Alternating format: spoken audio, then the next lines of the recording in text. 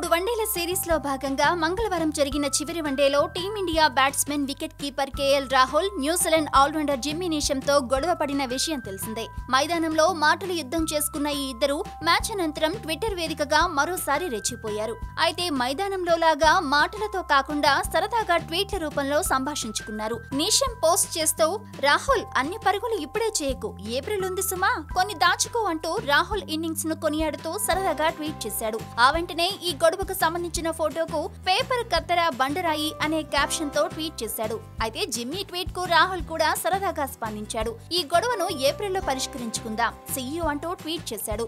Neesham Rahul గొడవకు సంబంధించిన ట్వీట్లు ప్రస్తుతం సోషల్ మీడియాలో వైరల్ అయ్యాయి. అయితే నీషం రాహుల్ గొడవపై అంతర్జాతీయ క్రికెట్ కౌన్సిల్ ఐసీసీ కూడా స్పందించింది. నీషం రాహుల్ సరదాగా ట్వీట్లు చేసుకున్నట్లే ఐసీసీ కూడా తన అధికారిక ట్విట్టర్ ఖాతా ద్వారా ఓ సరదా కామెంట్ చేసింది.